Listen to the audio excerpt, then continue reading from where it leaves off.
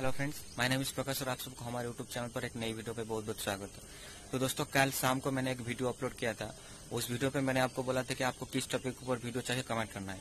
और मैं देख रहा था, उसमें व्यूज़ भी थोड़ा सा कम है, क्योंकि शायद सारे लोगों ने अभी तक नहीं देखे हैं। तो प्लीज़ जो लोगों ने नहीं देखे, उस वीडियो को देख लेना और आपको कमेंट करना है, आपको कौन सी टॉपिक के ऊपर वीडियो चाहिए।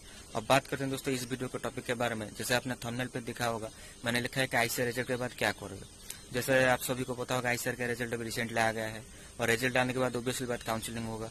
काउंसिलिंग आने के आप उसमें चॉइस फिलिंग करोगे, आपका जिस कॉलेज पे मतलब कट ऑफ़ रिलेटेड होगा, वो आएगा, उसके बाद सिलेक्शन होगा, उसके बाद आप एडमिशन करोगे। लेकिन ये कि बहुत ही बड़ा कंफ्यूजन रह जाती है और स्टूडेंट्स एनालिसिस नहीं कर पाते। हमारा अगर इतना मार्क्स है, हमको क्या करना चाहिए? मैं सच बोलता हूँ, ये ट्रू से आपको बोलता हूँ। और ऐसे काउंसिलिंग पे रैंडमली चॉइस डाल देते हैं। ठीक है ना?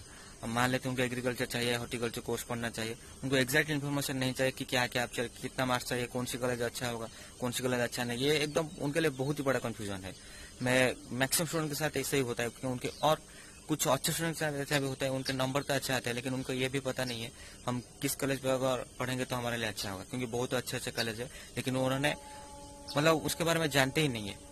तो दोस्तों, ये एक कंफ्यूजन है कि ऐसे रिज़ल्ट के बाद आपको क्या करना चाहिए, क्या नहीं करना चाहिए, जैसे कि हमने, मैंने थंबनेल पे लिखा है। मैं उसके ऊपर एक वीडियो बनाना चाहता हूँ। और उस वीडियो पे मैं डिस्कस करूँगा कि एवरेज कटअप क्या है, क्योंकि एक्जैक्टली कटअप तो हम डायरेक्टली बोल नहीं सकते हमें साथ कोई भी बोल नहीं सकता।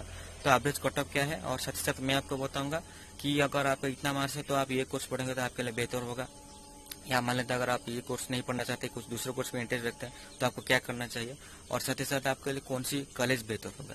ये सारी इन्फॉर्मेशन मैं आपको देना चाहता हूँ, अगर आप बोलोगे तो। इसीलिए मैंने ऊपर आई बटन पे एक पोल दिया हूँ। उस पोल में आपको आंसर करना है कि इसी से रिलेटेड आपको वीडियो चाहिए या नहीं चाहिए। अगर ज़्यादा आंसर एस मिला तो ओबियसली बात ये वीडियो बनेगा। और एक दो दिन के अंदर ही वीडियो बनेगा, और और कुछ नहीं।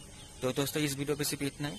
आपको क्या करना है, क्या नहीं करना है, ऊपर आई मतलब पोल पे आंसर करना है। ऐसी करना है, अगर आपको चाहिए तो नो करना है, अगर आपको नहीं चाहिए। और साथ ही साथ आपको कमेंट करना है किस टॉपिक के ऊपर आपको वीडियो चाहिए। तो दोस्तों, इस वीडियो पे सिर्फ़ इतना ही। फिर मिलूँगा बहुत जल्द एक नई वीडियो पे। तब तक के लिए thank you good luck and bye